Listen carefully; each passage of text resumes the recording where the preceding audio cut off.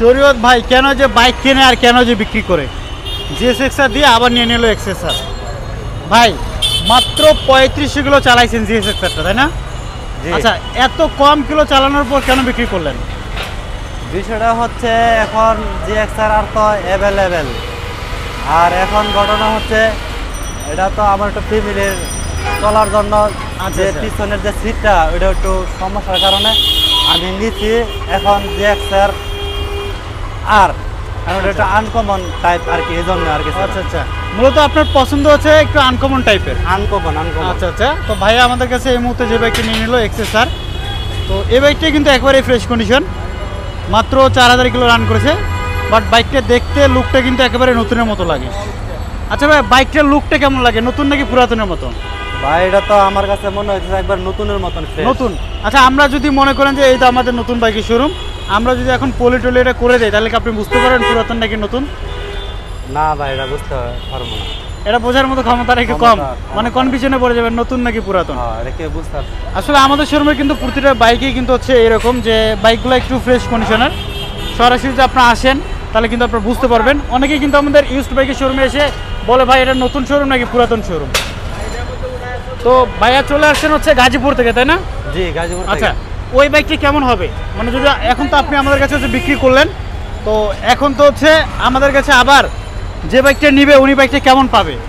এটা ভাই ইনশাল্লাহ অনেক ভালো একটা জিনিস। এটা মানে দুই আনার তিন পরিমাণ কোনো প্রবলেম নাই কোনো সমস্যা নাই।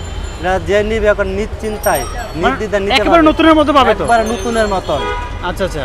আর এই বাইকটা আপনি তো চালাইছেন মোটামুটি অনেক সাবধানী না? কোথাও পরেও নাই বা কোনো নাই কোথাও কোনো কিছু নেই। আচ্ছা আচ্ছা আচ্ছা।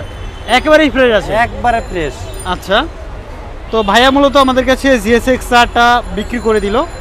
তো যারা জিএসএক্স আর ইয়েলো কালার খুঁজতেছেন একটু ফ্রেশ কন্ডিশনের তারা কিন্তু সরাসরি এখন আমাদের শোরুমে চলে আসতে পারেন সোহান বাইকসে তো যে যেখান থেকে ভিডিও দেখতে চান অবশ্যই ভিডিওটি লাইক করবেন এবং শেয়ার করে সাথে থাকবেন। আর পেজটা এখন যারা ফলো দেন অবশ্যই পেজটি ফলো দেবেন। তো এই বাইকটি কিন্তু রান করেছে মাত্র তিন হাজার পাঁচশো কিলো। তো যারা একটু কম চলে জিএসএক্স আর চাচ্ছেন তারা কিন্তু বাইকটি দেখতে পারেন। তো ভাইয়া আমাদের কাছে নিয়ে নিল হচ্ছে এক্সেসার ভাইয়া বাইক নেওয়ার পর কেমন লাগতেছে?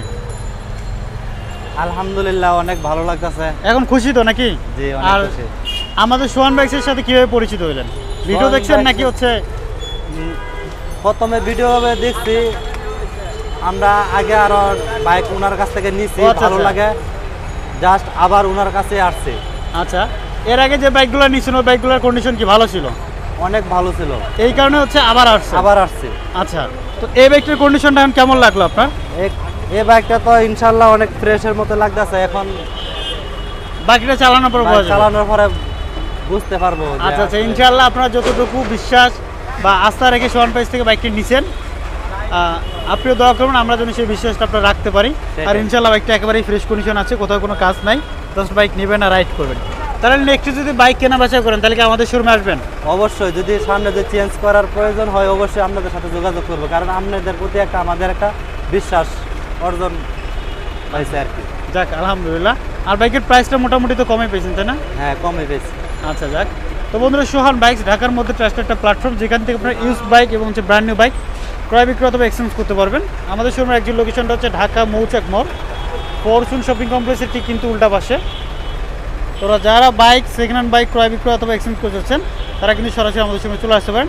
আজকের ভিডিও ছিল এই পর্যন্ত। যেখান থেকে ভিডিও দেখছেন, অবশ্যই লাইক এবং শেয়ার করে সাথেই থাকবেন।